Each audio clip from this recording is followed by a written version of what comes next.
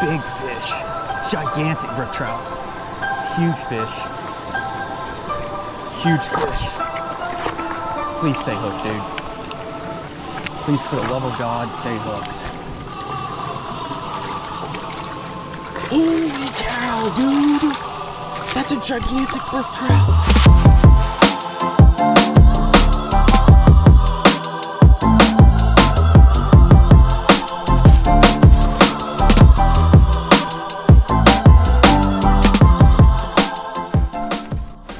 Just hooked a nice brook trout, guys. Look at that thing.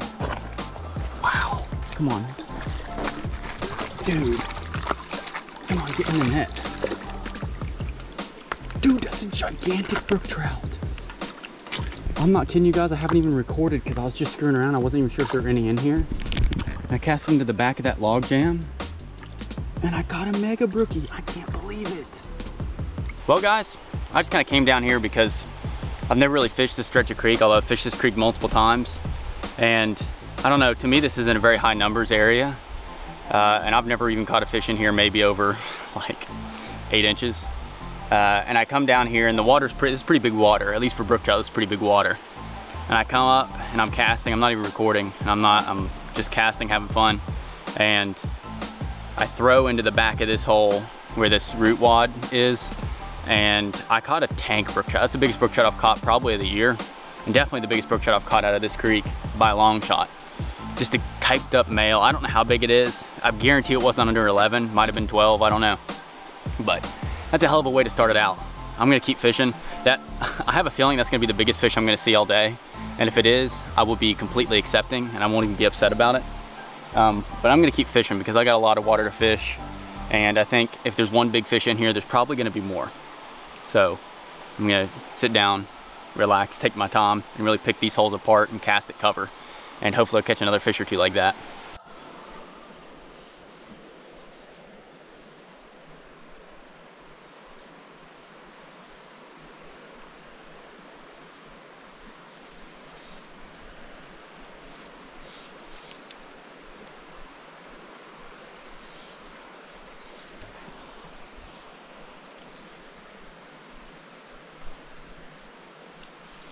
Oh, that was a brookie. I would assume it wasn't very big just based on the style of the hit.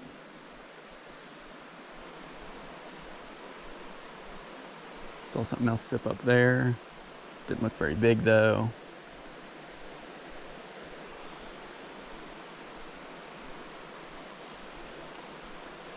I'll try it anyway.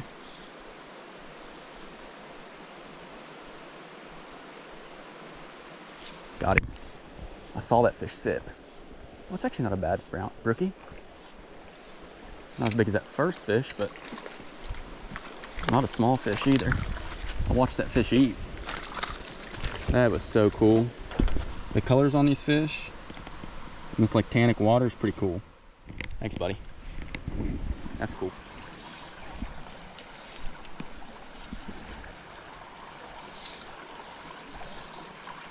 This strikes me as one of those holes where, like, there could be a really big fish, but I don't even know where it would sit. And I'm gonna end up like blowing this hole up before I ever figure out where the heck the fish are gonna be in this thing. I would think they would be like right in here, close to me, but I've been known to not know anything, so. What in the heck? It's the biggest, flattest rock hole I've ever seen.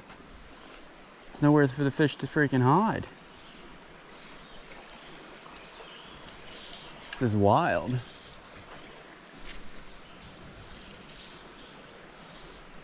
Hmm. Maybe they, they could be up towards the very head of the hole. I guess that would make some sense. This hole was huge, but there, I'm telling you, wasn't a bit of cover in the entire hole, which is like incredible. Oop. Oh, yes, got one. I can say there had to be a brook trout in this hole. It's too big. Wasn't much cover, but don't necessarily need a ton of cover for these fish. It's got enough little rocks and undercuts for them to live in. Chill out. Another healthy brook trout. Oh my gosh. He says, yes, I'm healthy, let me go. And I'm like, dude, I can't like let you go until I unhook you. See? Here you go. What a king. Thanks, buddy. That's awesome. I knew there had to be one in here. All right. Threw on a nymph as well just to see if there's, oh, immediately caught one on the nymph. I was gonna say, I literally just changed to a nymph to see if the fish are not eating on top.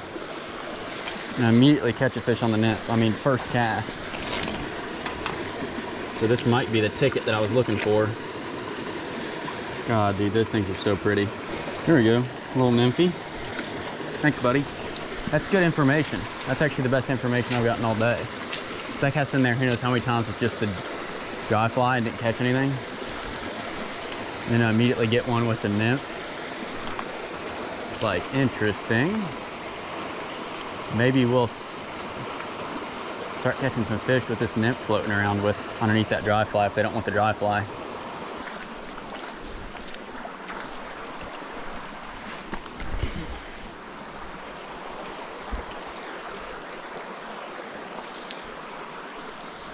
Oh yeah. I'm gonna switch to a little dry fly. I just saw big fish rise up there. All right guys, so I've seen a few very significant rises. So I'm gonna like kind of start casting this little dry fly around. They're kind of up around, like I can see kind of a big boulder in the middle of the water.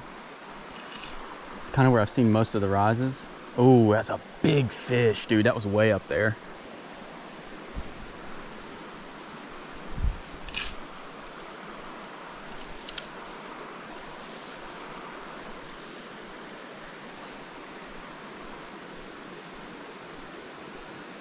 Oh, I saw a big rise over there. I think if I get a different angle, I might go get close to that. That's pretty far over there though.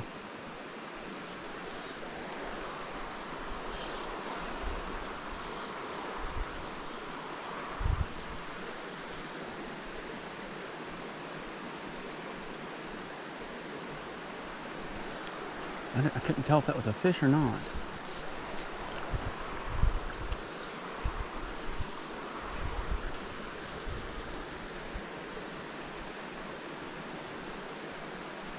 Got him.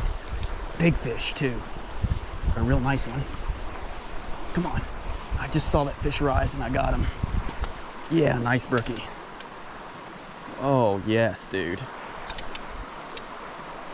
Get out of there, buddy. Oh, yeah, dude, that's awesome. It's a 10 inch fish, I think. Looks like it. Oh, yeah. That's awesome. Eight, 10 inch fish. Had to cast the country a mile up there to get him, but he ate this fly as soon as I got it into his range. Oh, dude. That's close to as long as that one I caught earlier. Jeez, sick. There's some other big ones rising in here too, so I'm gonna get take this picture of this fish and keep on moving. So I'm just gonna go over quickly uh, how I'm catching these fish today. So the water's been kind of low recently, which is part of the reason that I have been, uh, or I chose to fish kind of some bigger water today. Man, these bugs are atrocious. But uh, because the water's lower, I've kind of sort of made my own leader in a weird way. Um, so what I have is I have just like a seven and a half foot 5X leader from Cortland, just like a store-bought leader. And then what I've done is I've taken the 5X and then at the end of the 5X, I have tied on about a two to three foot section of 6X uh, nylon tippet. Here, I'll show it real quick. This stuff right here, this uh, 6X nylon tippet. And essentially I did that because I want a little bit more length. I don't want the fish to even have any idea that they're getting fished for. And if they deny my fly, I want it to be purely based on the fact that they don't like the fly and not because they're getting spooked by line or something like that. Uh, the other thing is giving me that extra like couple feet of 6X allows that line to kind of just like plop on the water and let that dry fly kind of move naturally, which I think helps catch some of the bigger fish in the system. So that's what I'm throwing today. It's nothing special. Uh, as far as the fly goes, right now I'm just throwing a little parachute Adams and uh, I think it's size 16. I tend to go a little smaller when the water's uh, low, but you don't necessarily have to. I started out with like a size 12 stimulator and I was catching some fish on it. Matter of fact, I caught that big fish right off rip on a stimulator. So what do I know? I don't know how much it matters, to be honest with you. I think as long as you get the fly in front of the fish, a lot of times for these, at least for these native brook trout, they're gonna eat it. So anyway, let's keep on fishing and see what we can get into. All right guys, so I was sitting here watching this hole and I saw what looked like at least a halfway decent fish rise way on this side against that rock. So I'm gonna hit that rock and hope this fish eats. That's not it. Try to pull it out of there. Oop.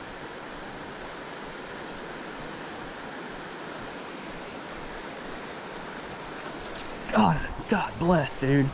I thought I saw a fish following my fly. That was a sweet eat.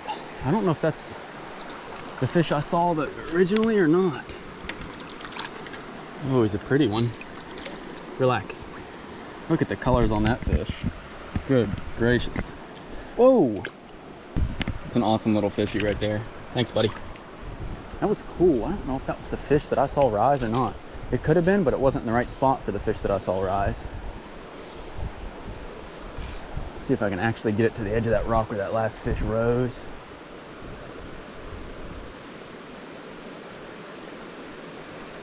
Yep.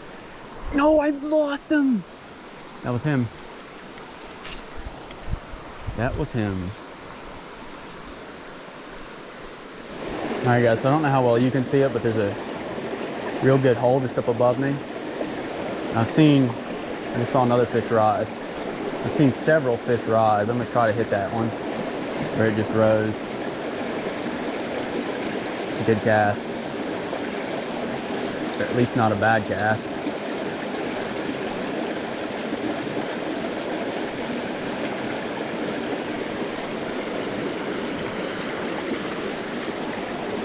Might have to be just a tad bit further up. I also saw one rise right in there.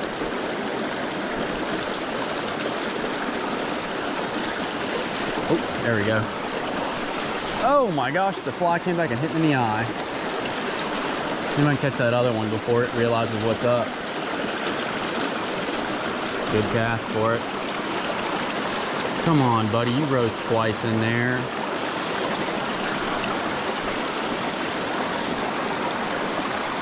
Oh well, got one of them, I guess.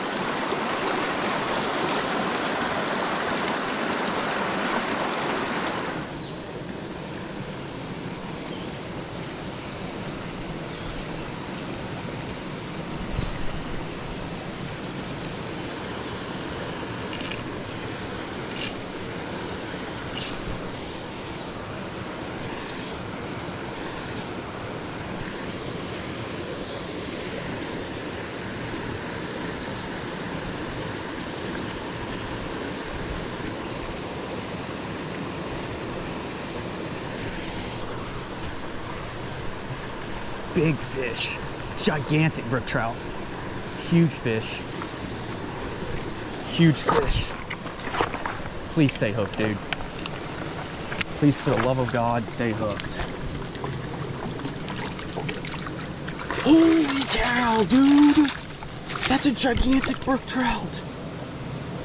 Dude, he came out from literally underneath that rock. Chill out, buddy. Dude, that's over 12 inches. Without a doubt, over 12 inches. Holy cow, huge! dude, dude, he came. Chill out for a second, buddy. It's gonna be okay. He came from underneath that rock over there, guys. I'm shaking.